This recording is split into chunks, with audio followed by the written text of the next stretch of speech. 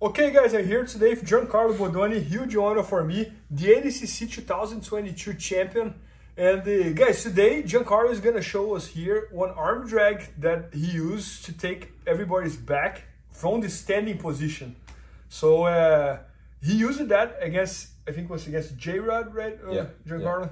And uh, super excited to learn, so let's do that. Uh, yeah, so obviously, uh, in terms of getting to somebody's back, one of the best uh, moves you can use is an arm drag.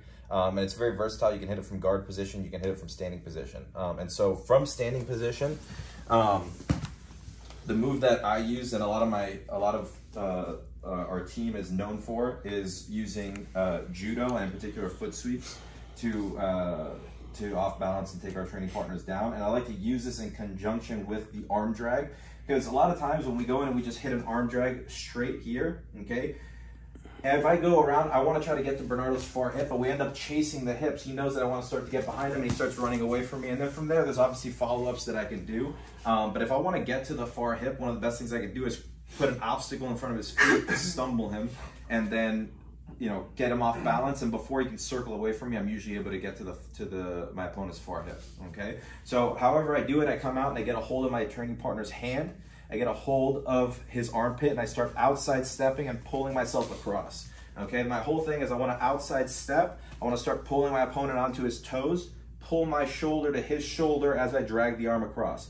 And as I do that, I just place the sole of my foot on the far ankle, okay? Anywhere between the ankle and the knee, somewhere on the shin over here, okay? You don't have to be super precise with it, but just place your foot there as a barrier so that as I start drawing my opponent forward, instead of just me pulling him forward with the arm drag, I hit a little stumble, and it probably won't put him down to the floor, but I'll at least get him hopping. So I might come in, as he gives me a little resistance, I pull and I stumble him just enough that I can get to the far hip, okay? And then once I get to the far hip, there's a whole bunch of stuff that I can do to start putting my opponent down and taking his back.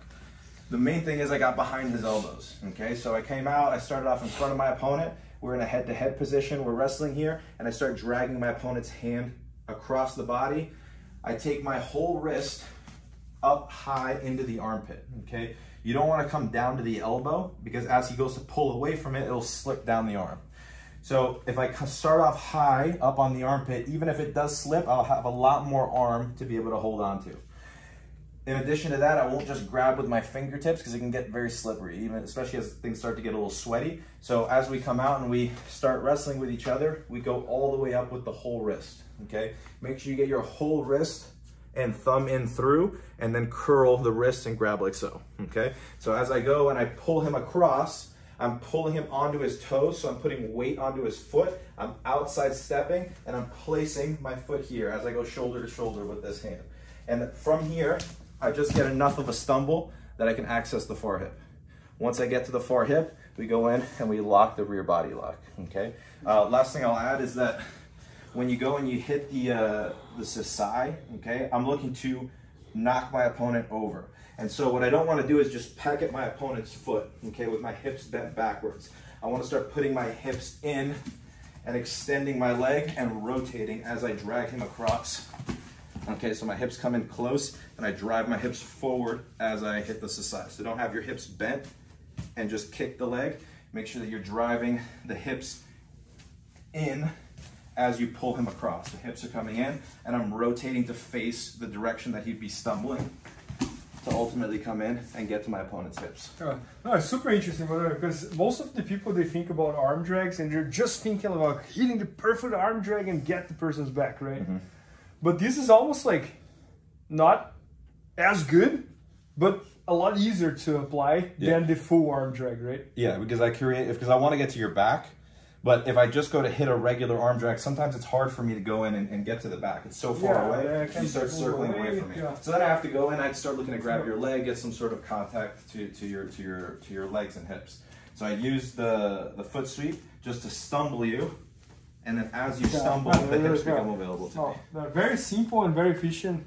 And uh, yeah, the, on, on ADCC, I noticed that you were using a lot of this stuff, like not only like the arm drag with Sasae, but you were always like hitting the, yeah. everybody's legs. And uh, so you like combining like Sasae with.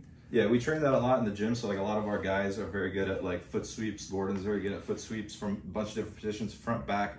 And so we trained a lot of judo, but foot sweeps in particular, not just hand fighting, but fighting with the feet and combining moves that are hand techniques like arm drags with leg techniques like foot sweeps. And I think like on wrestling, we don't see that many foot sweeps because the goal is to put the person's back on the ground, Yeah. right? And in jiu-jitsu, we don't care as long as we take down or take the back. Who? Yeah, there's a lot of guys that were very good, like Steve Mocco, were Yep, very yep, good yep, leg yep, techniques. Um, and so we like to watch guys like that and Yeah, try yeah. to pick stuff up. Yeah. No, no, that's incredible. And uh, but uh, this is part of your back to chest, or chest to back instructional in front of the elbows, correct? So um, we go, we briefly go over how to get behind our opponent's elbows. So that's part of it. Arm drags are a part Yeah, of it. yeah. How to go from in front of the elbows to behind the elbows. Um, but the main emphasis being on taking the back. Um, eventually, I'll do a video that encompasses all standing positions. Yeah. Yeah. Yeah, but guys, make sure to check it out. Uh, Giancarlo Bodoni's instructions at BJJ Fanatics. He's one of the best instructors we have, and he just won the ADCC. And he's training under John Danaher, so he's really like learning how to teach jiu-jitsu as well. So maybe you're gonna, you guys will see a lot of the, this guy's face here all over the internet because he's winning everything. So I hope you guys enjoyed, and thanks so much, Bodoni. Thank you. Please help me out to grow my YouTube channel. Just click subscribe. And to watch more videos, just click under see more videos. I hope you enjoyed.